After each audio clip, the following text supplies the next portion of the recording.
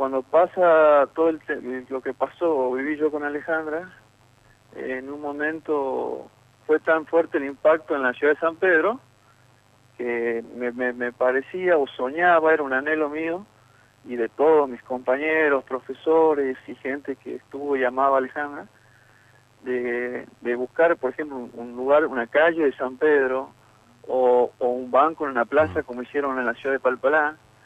Eh, entonces, eh, bueno, distintas personas por los medios, hacia las redes sociales, Mm. por ahí soñamos y o pedíamos esto porque en- sabíamos que en Ledesma hay un paseo que se llama el Paseo de las Flores, Sí. que precisamente hace este homenaje también a las víctimas de femicidio.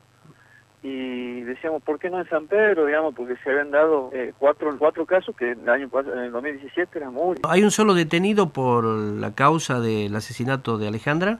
Sí, sí, hay un solo detenido, el, El padrastro. el, el- claro, el padrastro. Ajá. Bueno. Que ahora no sé cómo es la, sí.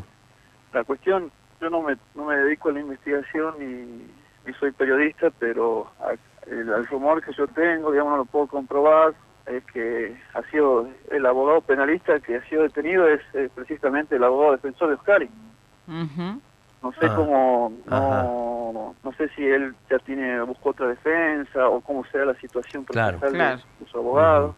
Eh, Eso llevará a que se alargue más el tiempo. Claro, pero ¿no sabes para cuándo estaría la, la fecha prevista del inicio del juicio?